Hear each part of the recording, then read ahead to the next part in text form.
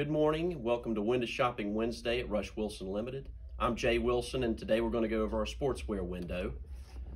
We have a nice summer theme, lightweight casual. I've got a linen floral printed short sleeve shirt button up from Peter Millar, and he is wearing the Performance Salem short from Peter Millar in a light blue. Then our next mannequin, we have some swim trunks on him from Peter Millar. They're little multicolored sea turtles with a coral color seaside polo from Peter Millar to coordinate with the swimming trunks. Then our middle mannequin's wearing a crown crafted polo with a stripe and the Shackelford hybrid short in a Gale Gray Camouflage.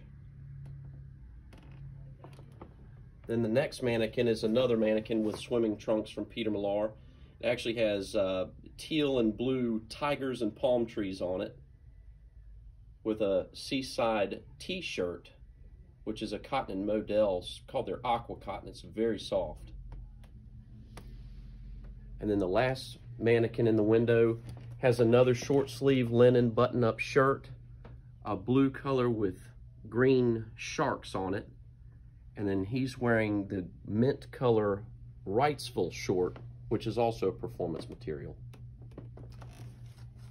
And we put shoes with each of the mannequins. For the shorts, I've got the new Naples loafer from Armin Oehler.